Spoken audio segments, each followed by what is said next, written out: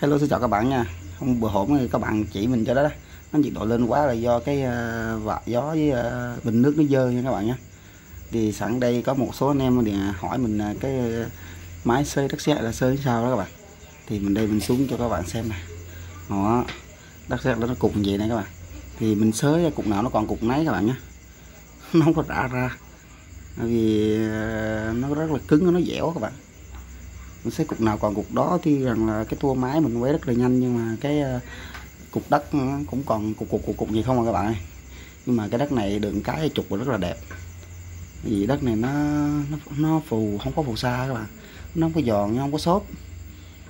Dẻo ờ, dẻo như cái ờ, à, cái gì nhỉ?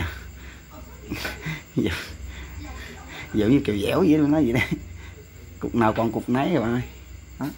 Các bạn thấy chưa? Mình xơi sơi là xuống khoảng ừ, một tấc các bạn.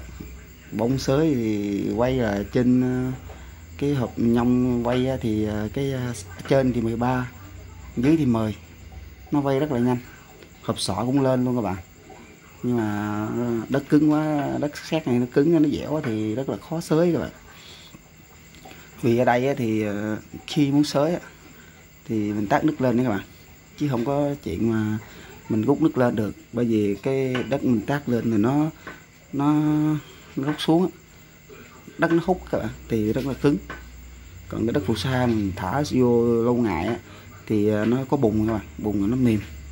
Mình quánh à, rớt nhẹ thôi nó cũng nhuyễn nữa. Nhưng mà đất này chịu thua rồi các bạn đi là chân té luôn. À, mình chạy đầm nhà các bạn thì mình cũng chạy ờ, tại công thôi các bạn đó.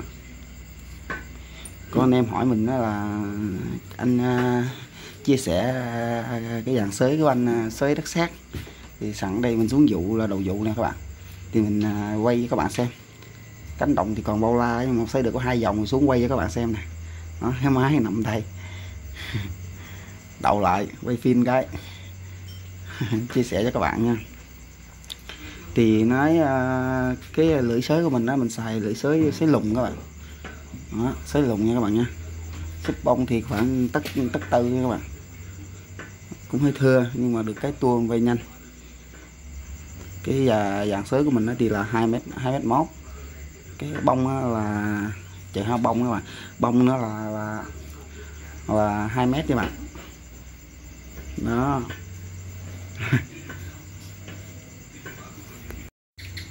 đó các bạn thấy cánh đồng không? Còn bao la luôn đó.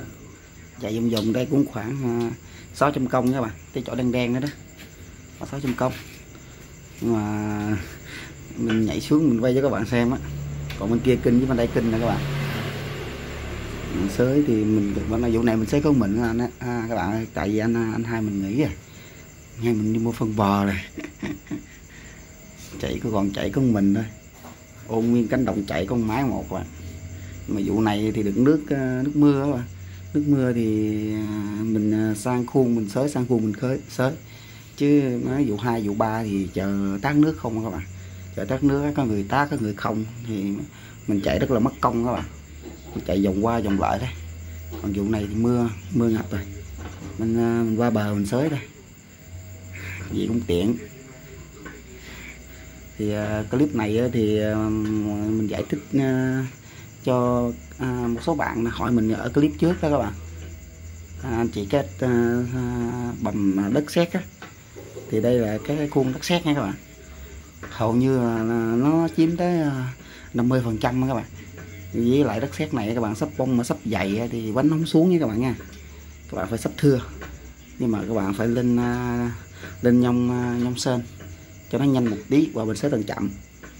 Chứ các bạn sẽ từng nhanh thì nó nặng máy cái máy cũng chạy ờ, tèn tèn cũng lượng ngàn 139 giờ rồi các bạn. Mà các bạn nhìn cái máy đi. Nó cũ luôn đó các bạn. Do đất ở đây nó ngập mặn các bạn với lại phèn. Nó không được đất phù sa nước ngọt quanh năm suốt tháng thì ở đây chỉ có một vụ nước ờ, nước ờ, mưa này thôi là được à, nước ngọt như các bạn. Còn bao nhiêu thì toàn là nước lỡ với nước mặn thôi dù ba toàn bộ nước mặn không à. Nước phèn không á và nó nó xuống ờ, màu máy lắm các bạn. Nó xét.